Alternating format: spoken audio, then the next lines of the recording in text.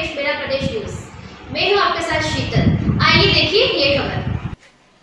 भोरासा नगर के हरिभा उपाध्याय शासकीय उच्चतर माध्यमिक विद्यालय में कक्षा बारहवीं के बच्चे हुए पेपर शुरू हुए हैं, जिसमें भोरासा संकुल पर 109 बच्चों का परीक्षा केंद्र था, जिसमें 109 बच्चे ही परीक्षा देने पहुँचे। यहाँ पर बच्चों को निर्धारित समय से एक घंटा पूर्व बुलाया गया था, जिसके बाद स्वास्थ्य विभाग की टीम के द्वारा बच्चों की थर्मल स्क्रीनिंग, बच्चों को सैनिटाइज किया गया था। साथ ही नगर परिषद के द्वारा एक दिन पूर्व ही पूरे स्कूल को सैनिटाइज किया गया।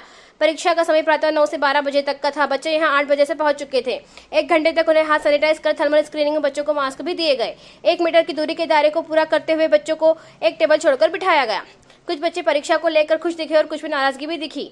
क्योंकि दो महीने से भी ऊपर का समय हो चुका है, स्कूल बंद हुए को अब बच्चों की पढ़ाई रुक गई है, जिसके बाद अचानक हो रहे पेपर में तैयारियाँ पूर्ण नहीं कर पाए, जिसका उन्हें अफसोस है। बारहवीं कक्षा का रसायन का पेपर था। परीक्षा केंद्र प्रभारी रुक्मणी गारे व सुधा शुक्ला ने बताया कि ये हमारे द्वारा यहाँ पर बच्चों को पूरी सुरक्षित व्यवस्था व रुक माहौल में परीक्षा दिलाने की व्यवस्था की गई है। बच्चों के तीनों पेपर संपूर्ण सुरक्षित माहौल में होंगे। बोरासा टोंक, खुर्द से नन्नू पटेल की रिपोर्ट।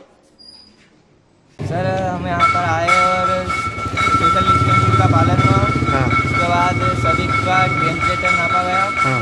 और सैनिटाइज करा उसके बाद में सब क्लास में बैठा। हाँ कैसा बिठाया गया था आपको? सोशल डिस्टेंसिंग का पालन हुआ अच्छा और आज पेपर काय का था?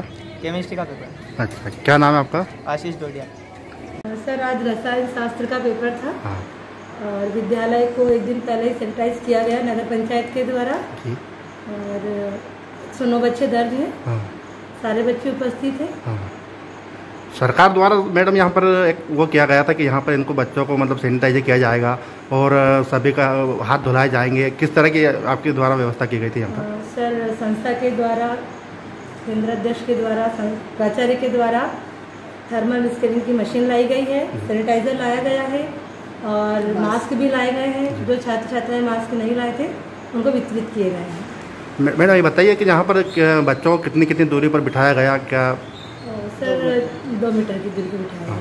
हाँ, आपका क्या नाम है आपका? सुश्री रुक्मणी गार्ग।